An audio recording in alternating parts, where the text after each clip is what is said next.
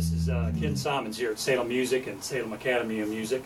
Uh, thank you for tuning in, and don't forget to subscribe to our channel by clicking the link below.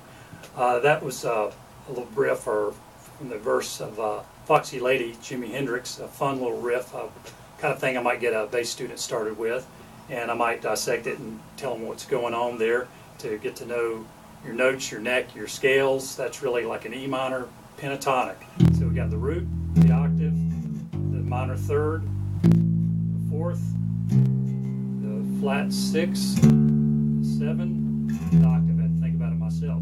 Because of course it's all about playing a good time with good groove. You may have noticed me tapping my foot. I really insist on that with my students to play well, lock in with the drums, because that'll get you out there getting gigs. Is being a, a good player, good time. You don't even have to be a hot shot jazz player with you know killer riffs. Just play well and be a good team player too. That's advice I give to uh, uh, burgeoning musicians. You want to be in there supporting the band, so you can have a lot of fun providing the foundation for the band, but also being uh, the the moral and uh, musical and spiritual foundation for the band too, and that's much appreciated.